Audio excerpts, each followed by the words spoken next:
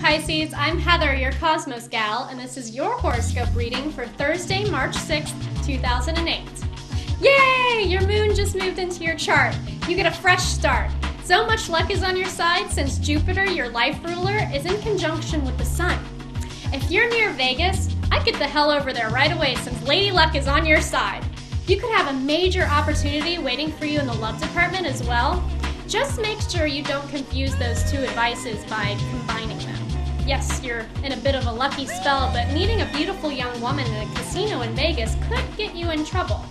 You know, when it's time to pay her. all right, that's all I have for you today. Tune in tomorrow.